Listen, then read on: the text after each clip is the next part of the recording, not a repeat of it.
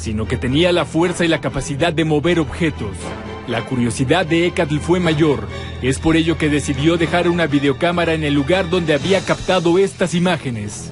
Dejé grabando y en, en un pedazo del video se escucha un lamento largo y al momento que acaba el lamento se voltea mi canasta de ropa.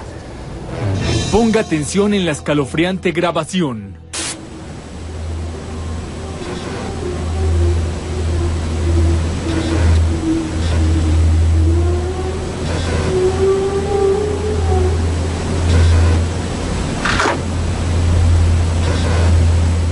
Tú aquí dejaste la, Yo la dejé cámara en, grabando. este, en este banquito de aquí, dejé la videocámara de aquel lado, grabando en la, la noche. Digo, lo que durara, porque mi memoria era de 2 gigas. Entonces, este, la dejé grabando y aquí es donde se vieron las, las imágenes. Los rostros. En los rostros, en este, en este plástico. Ok. La energía que el especialista percibía en toda la casa era muy fuerte y podría tratarse de algo sumamente negativo. sí hay algo en este lugar y no es él el que está provocando esa situación. ¿eh? Eso sí te lo puedo garantizar. Ahora, me extraña de sobremanera que ahorita que estábamos midiendo, bueno, yo estaba midiendo aquí la energía, no hay ningún punto de la casa que me mande, eh, que me mande a un, a un positivo, todo es negativo. Y con una fuerza, es más, yo siento que me jalan el péndulo. Fíjate cómo lo muevo y si medimos, pon tu mano izquierda, por favor, ahí, así.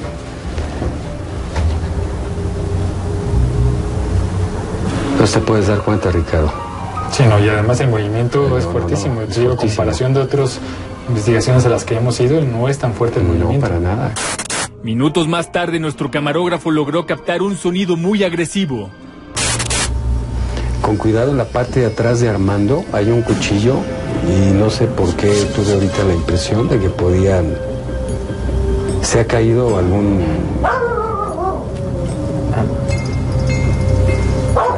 o algo. eh, No, incluso mi mamá un día vino ¿Qué pasó? Escuché una voz clarita atrás de mí. ¿eh? ¿Y qué te dijo? Como, ay. Sí. Como que- Aquí está, cuidado, eh, cuidado Armando, que se me da pendiente. Te, te dio escalofrío. Sí. Sí, sí, sí, sí, sí. Aquí está ahorita, estoy, y el perro está ladrando. Sí. Se está empezando a mover. Escuche nuevamente. Tra- traste o algo. eh, No, incluso, traste o algo. eh, no, incluso mi mamá. La energía que se percibía en el ambiente era muy fuerte. Es por ello que Octavio utilizó agua, sal y una veladora que ayudarían a armonizar los espacios donde esa fuerza se manifestaba. y ahorita vamos a checar la sal y vamos a checar el agua. Cuando terminemos, si hay algún cambio. Ok. El agua y la sal va a absorber esta energía. Ahorita no se ha movido, está cambiando, pero te voy a explicar por qué está más tibio. Porque al momento que sintió el salmo y, y pusimos este, el fuego, la sal y el agua, se movió para atrás. Posteriormente nos dirigimos a la siguiente área para que el especialista continuara la armonización. Estando ahí, confirmamos que la energía se movía entre cada espacio y el residente sentía la presencia muy cerca de nosotros. En el nombre de mi Señor Jesucristo y por obra y gracia del Espíritu Santo, todo lo que no provenga de la luz en este momento se retira. Gloria al Padre, gloria al Hijo. A ver, a ver. Ahí está, ahí está. ¿Quién dijo? ¿Tú dijiste eso? Gloria a Dios, Espíritu Santo. Estate tranquilo, ¿aguantas? Gloria a Dios, Espíritu Santo, como en un principio, ahora y siempre, por los siglos de los siglos. Amén. En el nombre de mi Señor Jesucristo y por obra Creo que se siente aquí un poco mal este Eka. ¿Quieres venir con él? Sí, pero te- necesito... ¿Cómo te sientes, Eka? Es que sentía el vacío. ¿Aguantas? Necesito seguir aquí quitándolo para que... Dame un segundo, haz oración.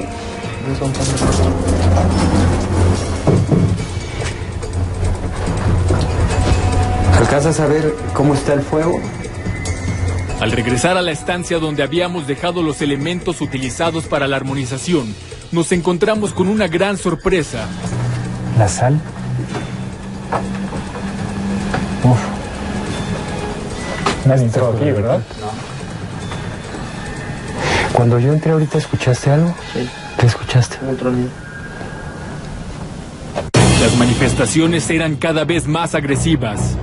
A mí me llama mucho la atención lo que comentaste hace rato con respecto a estos cuadros. Estos cuadros no pertenecen, yo creo, nadie a la familia, a tu familia, Mira, esposa. tu esposa. Pero, ¿qué, qué? ¿Vieron? Sí, sí. ¿Vieron que se cayó esto? ¿Cuál? ¿Qué se cayó? Esto se acaba de mover. Solito. Ve, ve, ve. Se está moviendo, se está moviendo, se Se está moviendo. moviendo todavía. Velo, velo, velo. Ve. Lo están moviendo. Se está moviendo. Mira, mira, mira. Uf. ¿Estás aquí? ¿Estás aquí ahorita con nosotros? ¿Sí o no? Ve, ve, ve, ve. ¿Estás aquí ahorita con nosotros? Qué Yo lo fuerte, siento, lo qué siento fuerte aquí está. todavía. ¿Estás aquí ahorita con nosotros?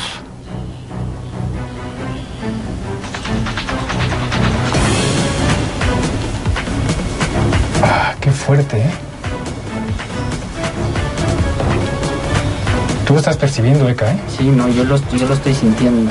No se ha ido de mí, lo sigo sintiendo igual. Pero eso no fue todo. Más tarde en la cocina escuchamos algunos golpes y los objetos continuaban moviéndose sin explicación.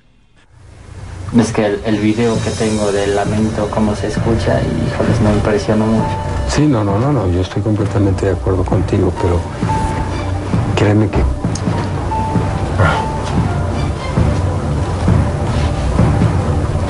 La canastilla, la canastilla, la. Ve, ve, ve, ve. ¿Eh? Nadie la movió, ¿eh? ¿no? La, la canastilla. ¿Ya viste? Sí. Está moviendo sola.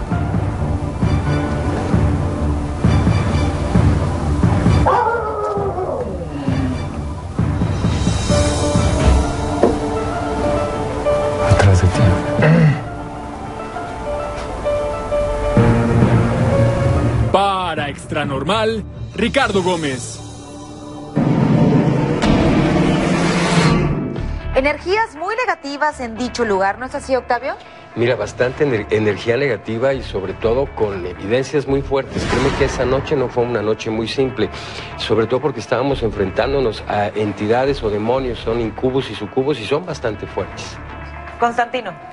Sí, Rosy, este tipo de energías normalmente atacan a las personas que tienen un bajo nivel de conciencia en muchas ocasiones porque quizás tuvieron alguna depresión o algo que bajaron la guardia. Entonces lo recomendable es que hagan oración, que puedan elevarse para que así queden protegidos y ya se alejen de este tipo de problemas. En Alemania, en los años 30, se llevaban experimentos atroces y deshumanizados donde millones de niños sufrieron terribles consecuencias. Estos son los relatos del vampiro.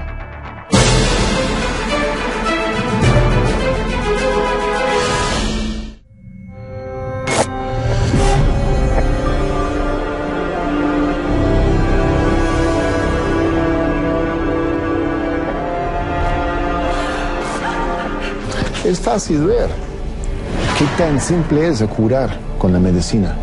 Dolor de cabeza con una pastilla, dolor de estómago con una inyección. Esa es la parte muy bonita de la medicina.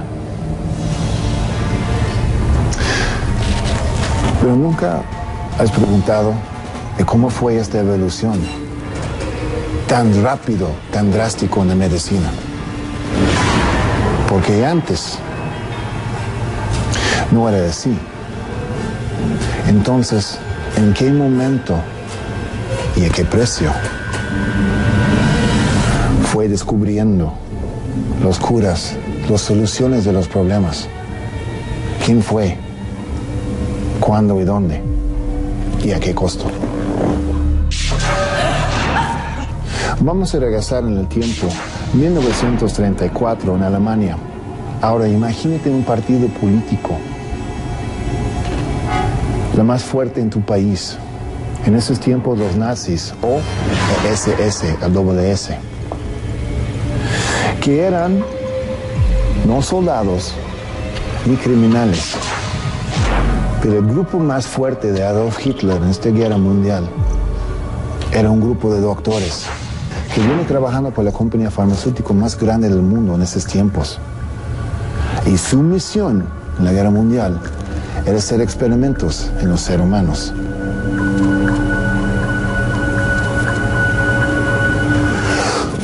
Los doctores más interesados en el tema de hacer experimentos con los seres humanos llevaron un hospital entero a su campo privado, a su hospital privado en el bosque. Llegando mataron más del 75% en un solo golpe, sin razón.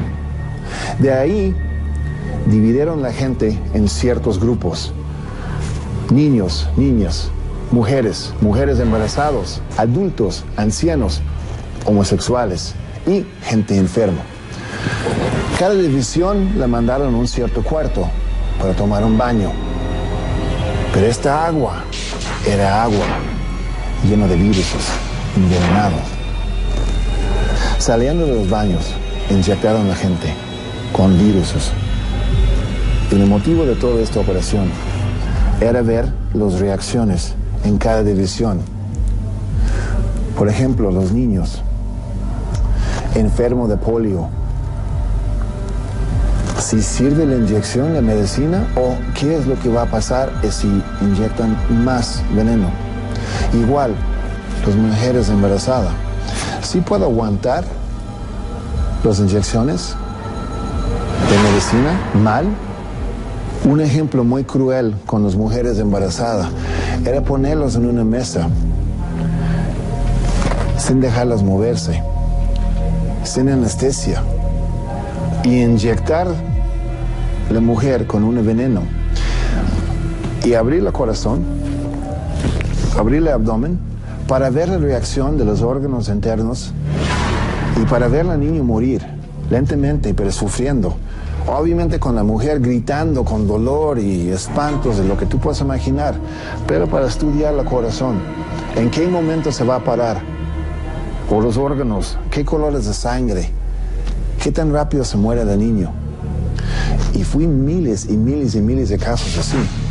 Las condiciones de guerra, en donde sea, siempre son extremos, sucios. Imagínate que estás peleando y estás en la línea y recibes un balazo. La infección, ¿cómo vamos a tratar eso? ¿Qué medicina sirve?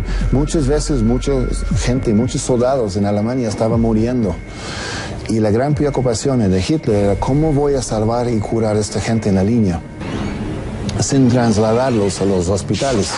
Es interesante saber que antes de la guerra mundial no hubo un libro de medicina moderno. Todo era muy folclórico. Yo soy el vampiro y estás en mi sección aquí en Extra Normal. Nos vemos en la semana que entra.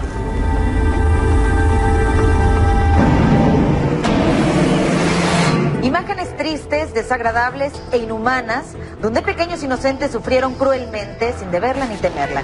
Y ahora es momento de ir a una pausa comercial, pero al regresar veremos la primera parte de la investigación de la semana. No le cambie, esto es Extra Normal.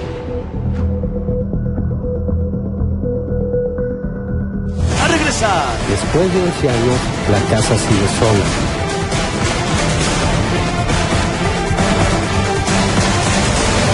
Te garantizo que están enojados, muy enojados. Están muy bien, vamos. Eso fue principio. Adentro, donde el Padre, el Hijo el Espíritu Santo.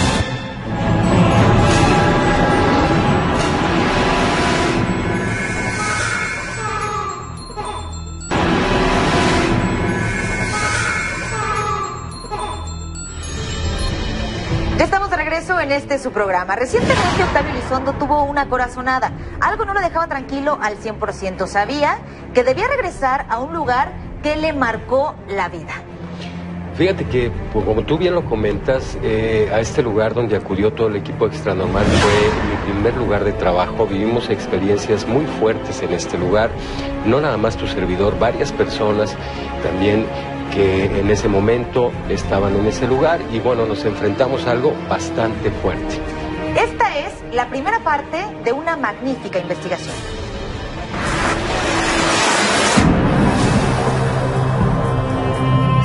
Cuando las casas son abandonadas, se deterioran al máximo dando un aspecto misterioso y hasta tenebroso. El introducirse a estas propiedades puede convertirse en toda una aventura, y más aún cuando se asegura que en el interior es posible encontrarse con supuestas energías de fantasmas que se han apoderado del lugar. Esta ocasión fue muy especial, debido a que la casona abandonada